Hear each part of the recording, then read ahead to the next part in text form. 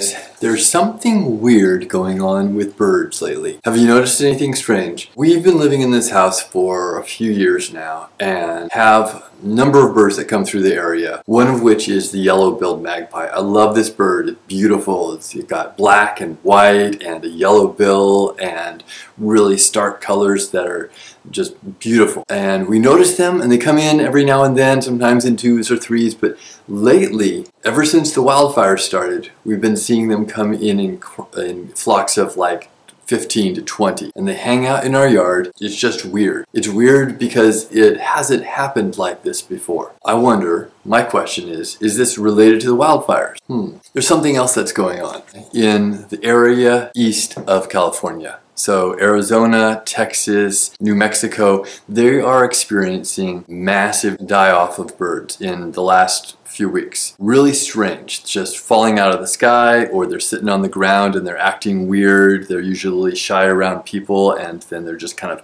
hanging out while people walk up to them. This is something that is a mystery. We don't know what's going on and we're trying to find out.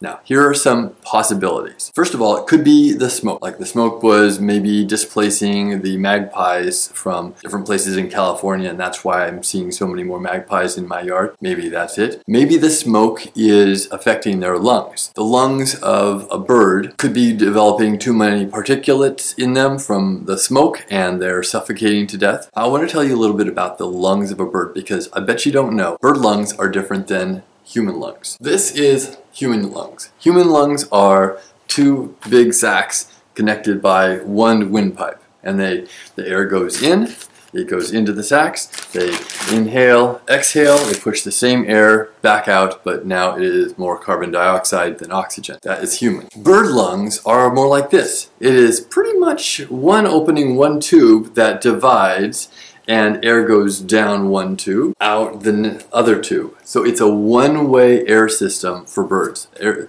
they have little sacs along the side that help move the air along. They have got lungs that absorb the oxygen into their bloodstream.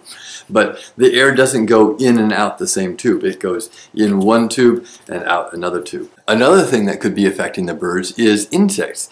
If the insects are something that those birds are eating and they're relying on the insects for their food, and the insects are not there because of the smoke in the air, the, maybe their habitats have been burned up, maybe these birds are dying of starvation. The other thing is birds are starting to migrate now. As they move during the colder fall months, they start moving towards the south so that they have warmer climate during the winter.